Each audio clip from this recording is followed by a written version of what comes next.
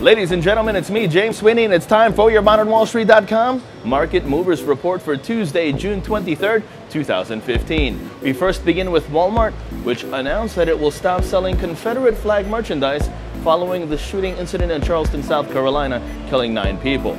Meanwhile, Facebook has knocked Walmart out of the top 10 in market capitalization following Monday's trade According to the S&P 500, Walmart has not ended a year outside the top 10 biggest companies by market cap since 1997.